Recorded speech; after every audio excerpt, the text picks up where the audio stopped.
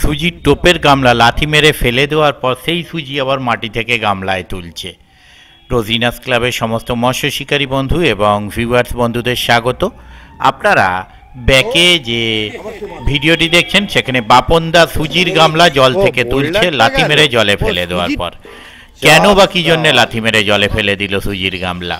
Actual মাছ call টেনে নিয়ে চলে যাচ্ছে। এখানে বেশ কয়েকটি মাছ পর পর খেয়েছিল। দেখতে পাচ্ছেন যে ছিপটি গোটাচ্ছে সেখানে মাছ আছে। তো মাছটি টেনে নিয়ে যাচ্ছে কল দৌড়ে ধরতে গিয়ে লাথি মারল সুজির গামলায় এবং সুজির গামলা চলে গেল জলে। আপনারা দেখতেই পেলেন। আর এই পুকুরটি আগামী তিন দিন আর চলবে। সামনে রবিবার মঙ্গলবার বৃহস্পতিবার। তারপর পার্মানেন্ট বন্ধ। মানে আগামী বছরেও যে পাস চলবে সেরকম কোনো ব্যাপার নেই। পার্মানেন্টভাবে গৌলন পুকুর বন্ধ হয়ে যাচ্ছে। বিগত দিন বা বিগত বছর আমরা দেখে এসেছি এই পুকুরটি বিগত বছর থেকে সেরা পুকুর হিসেবে কম বেশি চলছে। হুগলি ডিস্ট্রিক্ট বা বর্ধমান চত্বরের মধ্যে শিকারী বন্ধুদের কথা অনুযায়ী আমি বলছি না যে সেরা পুকুর। এবং ধারাবাহিকভাবে শিকারী বন্ধুরা কম বেশি মাছ ধরে আসছেন। পাঁচজনের একজন ফেলিওর সেটা আলাদা ব্যাপার। বাট ধারাবাহিকভাবে শিকারী বন্ধুরা মাছ ধরছেন, আনন্দ পাচ্ছেন।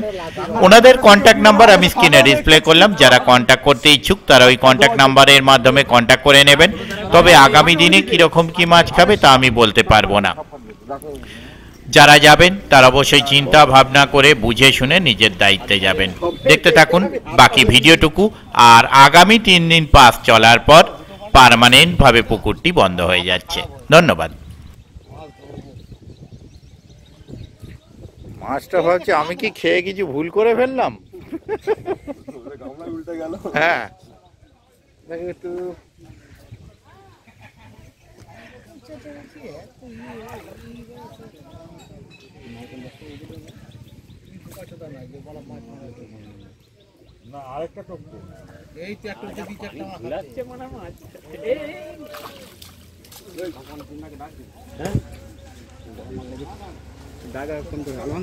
না এখন জোরদার কাজ।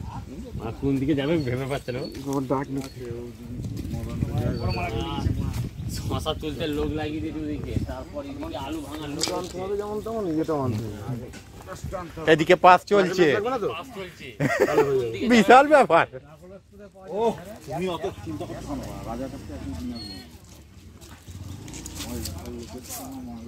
সিন্টু জালটা তুললি না? জড়িয়ে আছে।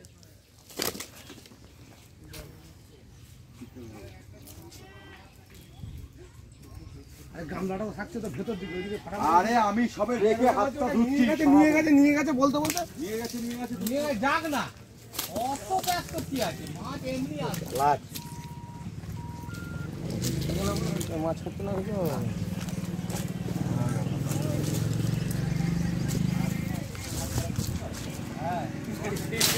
হ্যাঁ কোথায়?